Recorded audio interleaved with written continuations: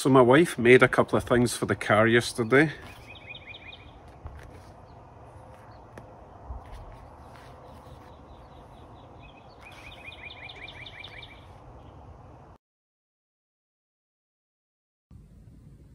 So today is a sewing day and this is my crazy instructions that I have created for myself. I'm sure they make perfect sense. So I'm just going to cut this out and then take it to the sewing machine.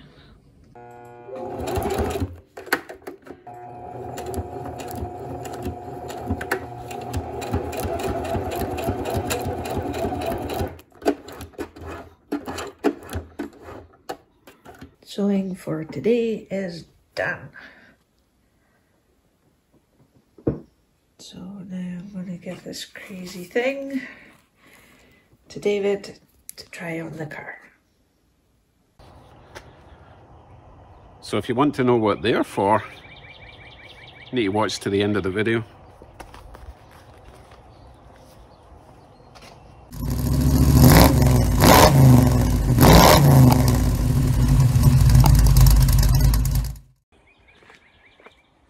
Today's plan then, I'd like to finish off the panelling in here.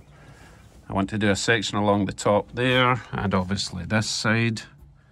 It's going to be a wee bit tricky because I want it to curve round there, tuck under that window and also extend around to here just to finish that section off on both sides.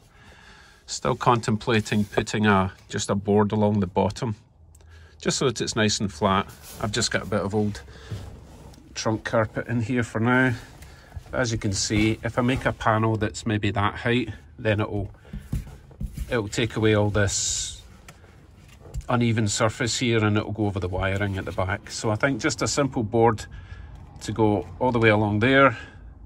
I'll add a support there, maybe maybe just one in the middle or one at either side of the wiring, another support there. And then once that's done, I can finally get some carpet down. Ow, just bang my head again.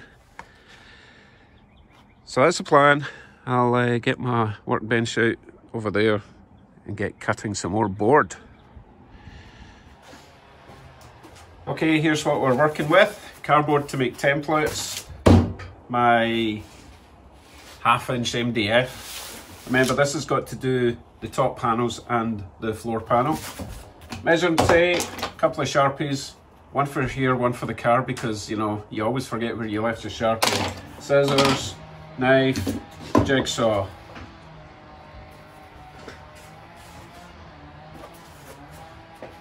I've got these sun flaps.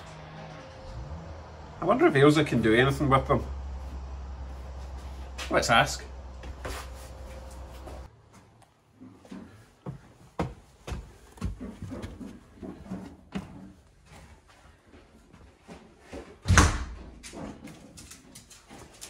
Ailsa! Can you do anything with these? I can try. Okay, thanks, Sam.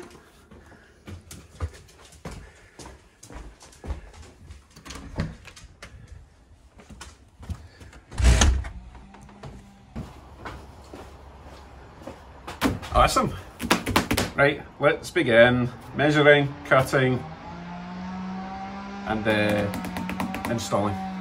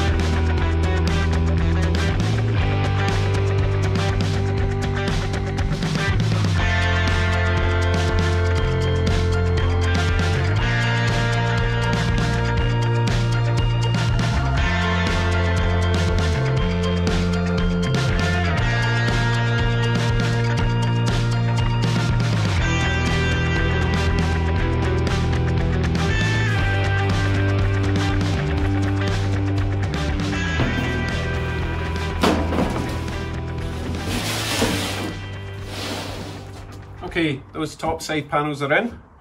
So now that's all, all that's left now uh, is that baseboard I was talking about. So I'll show you how they fit. I'm quite happy actually how they turned out.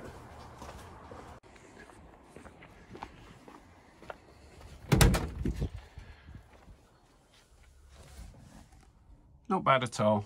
And I managed to get them underneath the, the side glass.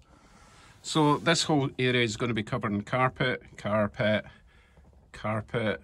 I'm not sure how far up I'm going to take the carpet.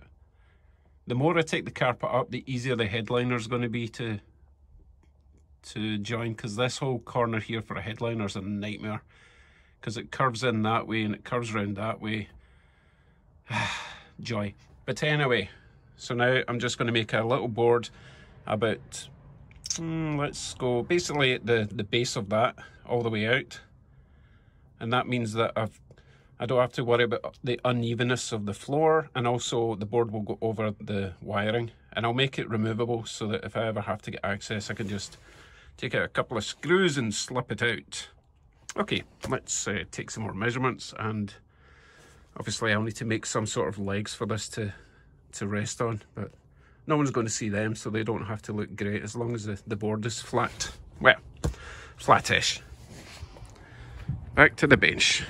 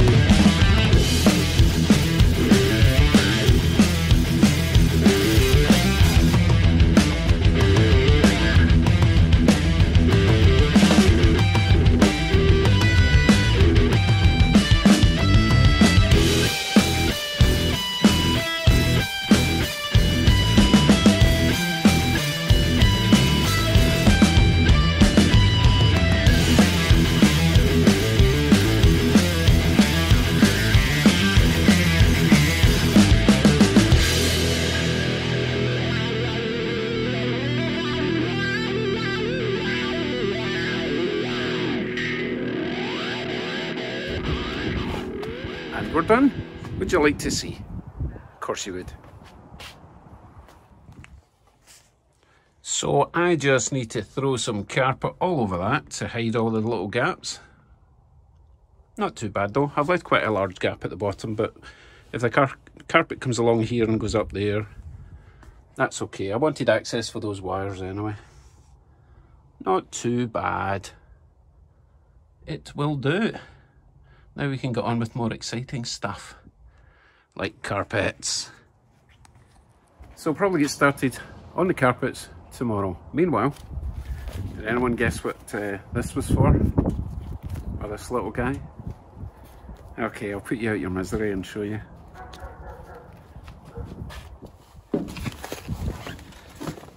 Right, let's start with the wee tiny one. If you guessed correctly, that it was for my light switch, then well done. That was pretty tricky. So remember I said when I installed this, it seemed quite long, but I kind of liked it far out, but you had this big bar sticking away, it looked a bit goofy. So my wife, Elsa, came up with this idea to make a gaiter.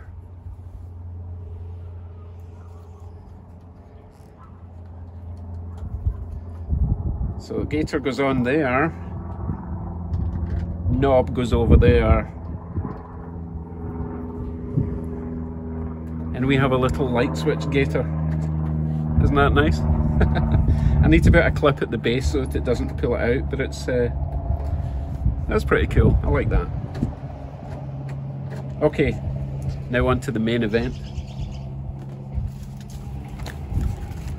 This weird contraption is actually a steering shaft gaiter, a steering column gaiter. Now it's a wee bit tricky to put on. There's all sorts of velcro pads and sticky things I need to take off so I will not bore you with that or subject you to my swearing but once it's on I'll bring you back and you can see how it looks.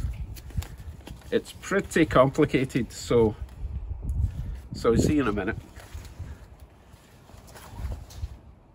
That wasn't too bad. Let me show you how it looks. Not too shabby.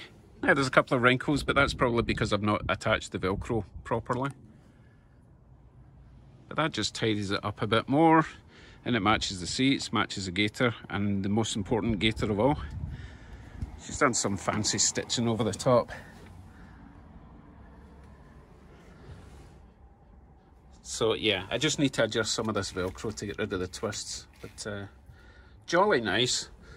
And let's face it, it's not something that we would have thought of. Only a, only a very clever wife would have thought that out and uh, decided it was required. Thank you very much, my lovely wife. So that concludes the interior portion almost. Still got the doors to do, but that's okay. They they swing away out and I can I can do them whenever. So the next big step, get some carpet in this thing. What a difference that's going to make, both to the sound and the look. And also, huge thank you to my wife for her ongoing efforts to make Bugsy look pretty. I'm trying my best to make him look ugly, but uh, you know, she likes him to look pretty. Right folks, take care. Thank you for watching. Please subscribe if you've not already, and I'll see you in the next one.